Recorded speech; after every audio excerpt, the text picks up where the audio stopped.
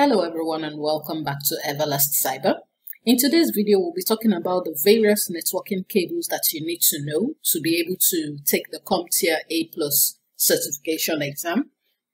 For the CompTIA A Plus certification exam, there are three main types of cables you need to know, which are the twisted pair cable, fiber optic cable, and the coaxial cable. Taking a look at the twisted pair cable, this cable is used for transmission of both digital and analog signals, and it is one of the most popular types of cables in use today. It is made up of two insulated copper cables that are twisted together to reduce the electromagnetic interference. This twisting also helps to keep the wires separated so that they do not touch each other and cause a short circuit. Now, under the twisted pair cables, we have two types of cables, which are the unshielded twisted pair and the shielded twisted pair. The unshielded twisted pair has various categories. So this is where we find the Cat 3, Cat 5, Cat 5e, Cat 6, Cat 6a, Cat 7, and even the Cat 8 cables. It's usually used in telephone networks and in Ethernet networks. Its advantages includes that it is cost effective and it is typically easy to install However, it has the disadvantage of being susceptible to electromagnetic interference and crosstalk compared to the shielded cable. Taking a look at the shielded twisted pair, it is used in environments with high electromagnetic interference, so this gives it a better performance in noisy environments.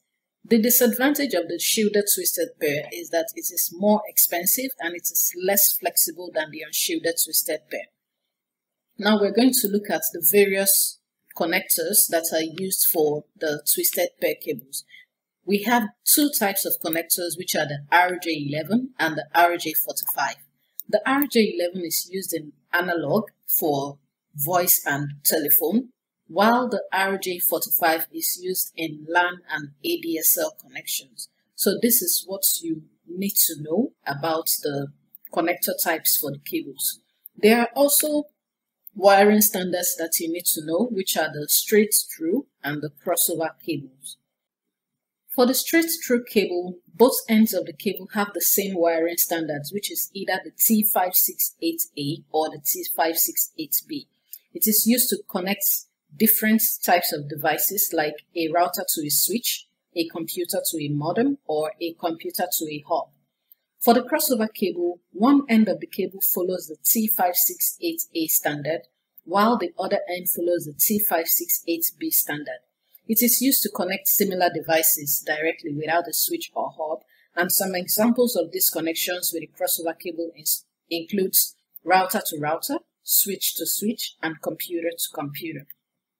For the straight through cable, both ends have, um, for instance, the T568B um, standard. And um, for the different pins, we see that pin 1 will have the white slash orange, pin 2 will have the orange, pin 3 is the white slash green, pin 4 is blue, pin 5 is white slash blue, pin 6 is green, pin 7 is white slash brown, while pin 8 is brown.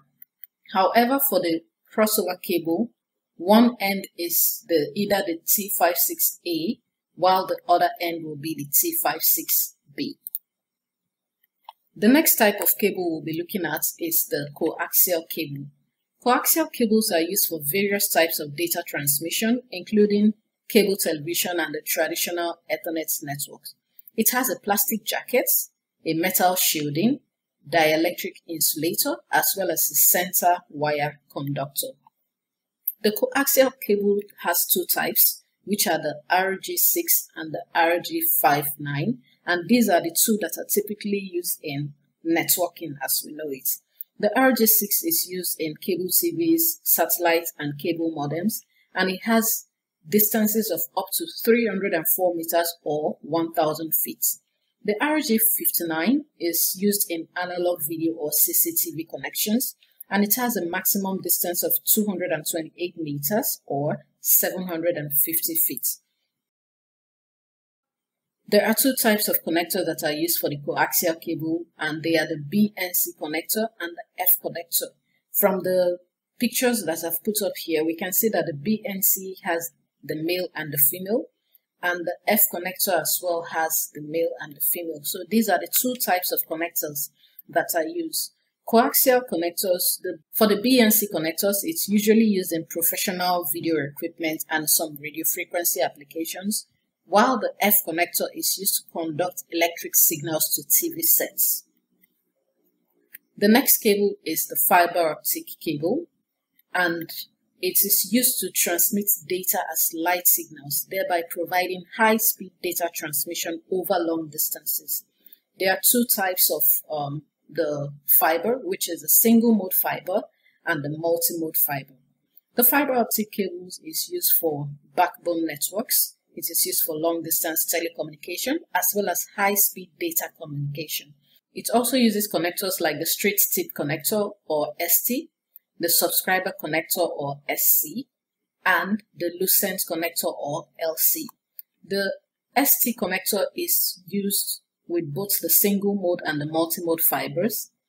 The, S, the subscriber connector or SC works with either the single mode or the multi-mode optic fiber as well, while the Lucent connector, which is commonly called a local connector, is a mini form factor connector and it is usually used in a push-pull latch configuration. There are also different types of other cables that are used in networking like the USB cables, the SATA cables, the serial cables, and the SCSI cables. But, but the most common cables that are used in networking as we know it today are these three types that I've just explained, which are the twisted pair cable, the fiber optic cable, and the coaxial cable. Thank you for watching this video. Don't forget to like, share, comment, and also hit the subscribe button so that you'll be notified when our next video drops. Thank you for watching this video and I'll see you in the next one.